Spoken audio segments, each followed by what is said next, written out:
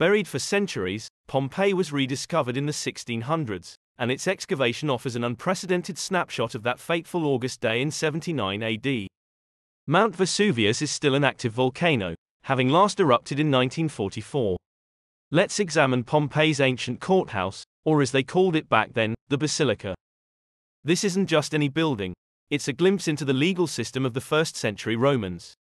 As you look around, notice the familiar layout, a central hall flanked by columns, similar to many of the basilicas you find in later Christian churches. Interestingly, those column stumps are all cut to the same height, not by design, but because they were interrupted by the eruption of Mount Vesuvius in AD 79. Back then, this basilica was undergoing repairs from an earthquake 17 years prior.